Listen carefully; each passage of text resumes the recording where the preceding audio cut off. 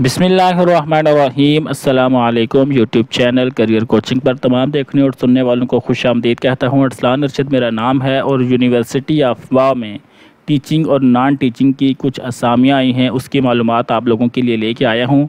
सीधा आपको official advertisement की तरफ़ लेके चलता हूँ, ताकि आप लोग ख़ुद भी इनको देख लें। यहाँ पर जो ये जो ऐड है, मैं आपको बताता चलूँ कि ये शाया हुआ था 23 जुलाई 2023 को लाहौर और कराची के जंग अखबार में।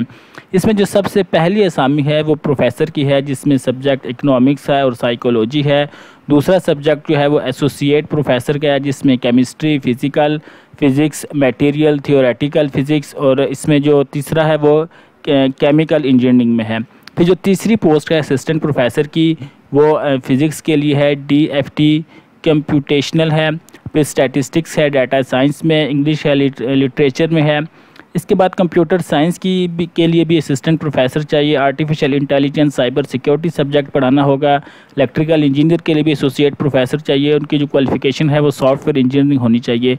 चौथी जो पोस्ट है लेक्चरर की, इसमें है जी बायो साइंस जोलॉजी केमिस्ट्री है फ़िज़िकल और इसके अलावा स्टैटिस्टिक्स है डाटा साइंस का इंग्लिश है लिटरेचर में कंप्यूटर साइंस है आर्टिफिशियल इंटेलिजेंस साइबर सिक्योरिटी इसके बाद मैनेजमेंट साइंसेज है general management accounting and finance है, फिर इलेक्ट्रिकल इंजीनियरिंग है power computer engineer software engineer ये आगे क्राइटेरिया है। फिर जो पाँचवें नंबर पे बात करें तो लेक्चरर है जी मशल डिग्री कॉलेज के लिए। इंग्लिश जो है उसके लिए लेक्चरर चाहिए। फिर सीरियल नंबर छः की बात करें तो लैब इंजीनियर कम डेमोस्ट्रेटर है। इसमें की जो क्राइटेरिया है वो इलेक्ट्रिकल इंजीनियरिंग होनी चाहिए कंप्यूटर इंजीनियरिंग होनी चाहिए सॉफ्टवेयर इंजीनियरिंग आपकी क्वालिफिकेशन होनी चाहिए। इसके आगे बात करें तो assistant director marketing and promotion है। आ, इसके लिए है जी डायरेक्ट्रेट ऑफ़ मीडिया पब्लिकेशंस फिर कंटेंट राइटर इंग्लिश है इसके लिए भी सेम क्राइटेरिया है। फिर सीरियल नंबर नौ पे manager O R I C है। इसमें directorate of O R I C industrial Uh, linkages and placement. इसके बाद दसवें नंबर पे बात करें तो असिस्टेंट लाइब्रेरियन है लाइब्रेरी कॉम्प्लेक्स आपका होना चाहिए, जो भी क्वालिफिकेशन है सॉफ्टवेयर इंजीनियर है IT department net web applications net core और इसमें जो बारहवें नंबर पे आखिरी जो असामी है, वो सीनियर लैब टेक्नीशियन की है कोर रिसर्च लैब इलेक्ट्रिकल और इलेक्ट्रॉनिक्स में है।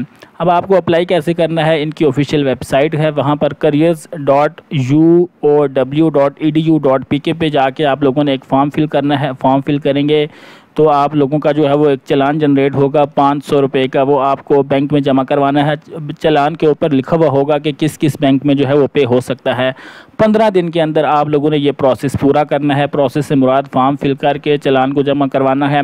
और इसके बाद जो है जी the salary is negotiable. Salary के बारे में फिर आपसे फर्दर जो है वो इंटरव्यू में जो है वो बात हो जाएगी। बाकी कोई ख़ास इंपॉर्टेंट इन्फॉर्मेशन नहीं है।